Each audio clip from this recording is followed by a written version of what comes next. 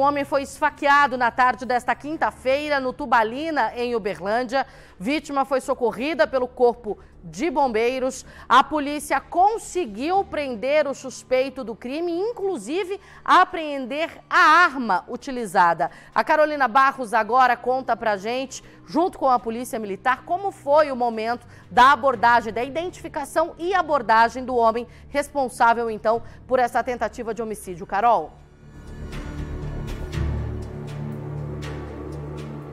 Isso, Luciana, só para a gente contextualizar quem está chegando agora no Cidade Alerta, esse crime foi hoje à tarde na rua Real Grandeza, na esquina com a Avenida Getúlio Vargas, bairro Tubalina. Como a gente conversou com a Tenente Alexandra Lopes mais cedo, do Corpo de Bombeiros, ela falou a respeito do socorro desse jovem esfaqueado. É um jovem de 23 anos que acabou levando uma facada em especial.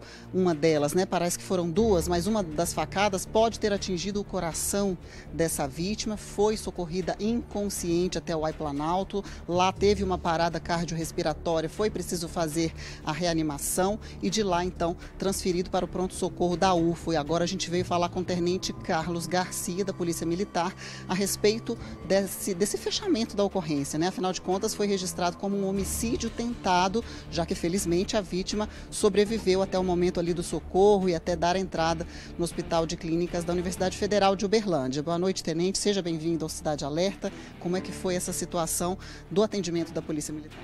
Então, é, chegou a chamada para nós via 190, né, que estaria ocorrendo um, um, possível homicídio tentado na Getúlio Vargas, próximo ao posto Gentil.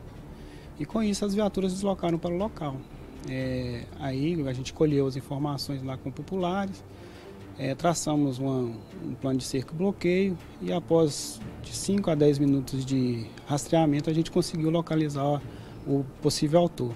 Ele, com a abordagem, ele assumiu o crime. A, a, arma utilizada estava com ele na sua pochete, uma faca, né? E ele falou que o problema é que a, a vítima é, é quanto mais na agressão do pai. E ele se sentiu meio revoltado e quis é, tirar essa situação a limpo e desferiu essas facadas na, na vítima. Qual é a relação desse agressor com vítima e o pai dele? A princípio, ele é amigo do pai da vítima, o autor.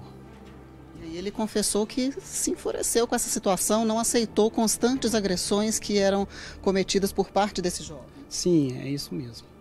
Agora, como é que fica a situação desse homem, né? Já que ele foi preso, ele foi preso ainda dentro do flagrante? Sim, ele está em flagrante, né? Foi registrado a ocorrência, o REDS. É, ele foi encaminhado para a delegacia de plantão e agora vai ficar a cargo da Polícia Judiciária.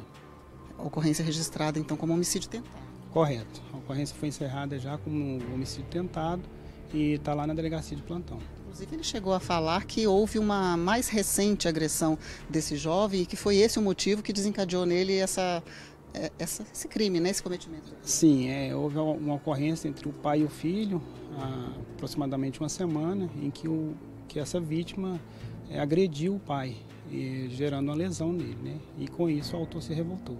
Nesse dia de hoje, eles chegaram a entrar em atrito também, o agressor e a vítima? Sim, a princípio eles começaram um atrito e com isso a, o autor desferiu essas facadas na vítima. Duas alturas? A princípio, sim.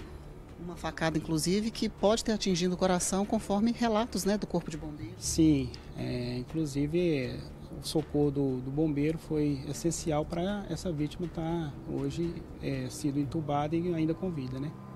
Perfeito. A gente agradece então o Tenente Garcia falando conosco ao vivo sobre o encerramento dessa ocorrência. Encerramento por parte da polícia que foi exitoso, né?